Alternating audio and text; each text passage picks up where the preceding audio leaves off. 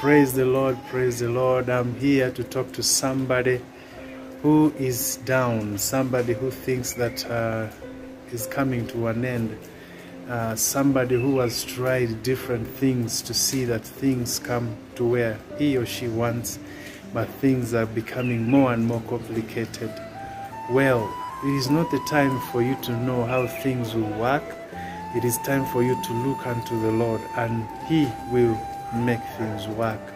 When you look unto Jesus, it is not you who makes things happen, but it's Jesus who makes things happen. So cease from trying to make things happen.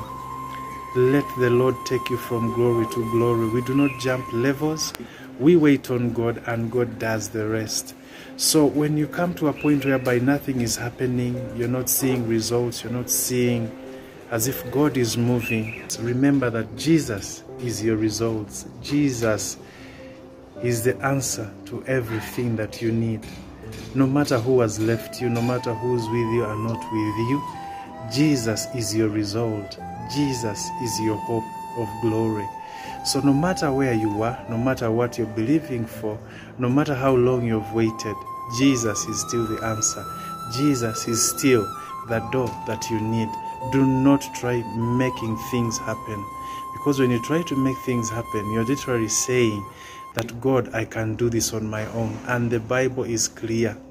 Jesus says, without me, you can do nothing. That is why you've been doing many things without results. So, this is the time that you should yield to Him, and Him will perform in your life. Thank you, and be blessed in Jesus' name.